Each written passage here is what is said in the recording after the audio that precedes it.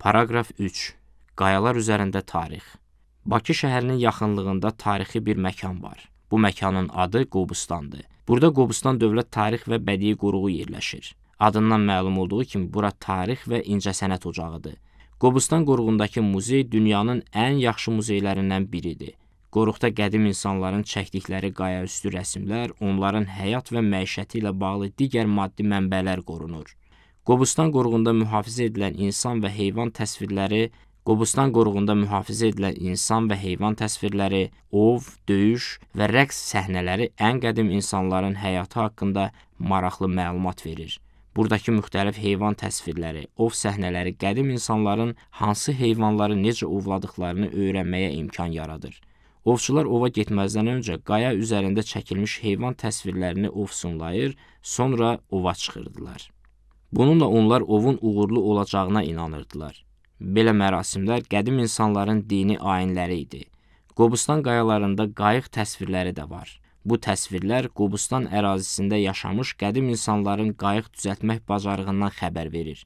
Bu Azərbaycanın qayıq və ya gəmi düzəldilməsinin ilkin vətənlərindən biri olduğunu sübut edir. Qobustanda insanlar qəbilə şəklində yaşayırdılar. Zaman keçdikcə insanların sayı artdı. Bir neçə qəbilə birlikdə tayfa yaratdı. Qobustan qayalıqlarında qadın, kişi və uşaqların birgə rəsmləri ən qədim ailələri təsvir edir. Qoruqdakı döyüşçü və döyüş təsvirləri qəbilələr arasında münaqişələrin olduğunu göstərir. Bu münaqişələr əsasən əlverişli ərazilər uğrunda baş verirdi. Azərbaycan türklərinin xalq rəqsi olan yallı səhnələri Qobustan qoruğunun ən maraqlı rəsmlərindəndir. Burada uğurlu ovdan sonra tonqalların ətrafında şənlik edən insanlar təsvir olunmuşdu.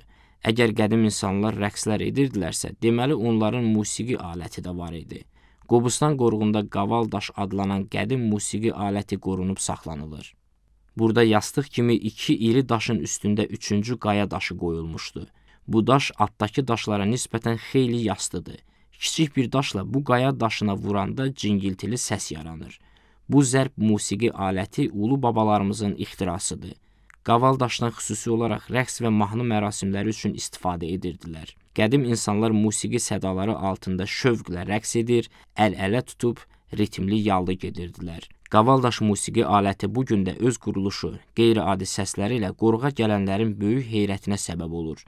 Açıq səma altında qayalar üzərindəki qədim rəsmlərə, qavaldaşa və digər maddi tapıntılara görə Qobustan qoruğu UNESCO-nun Dünya Mədəniyyəti İrsi siyahısına daxil edilmişdi.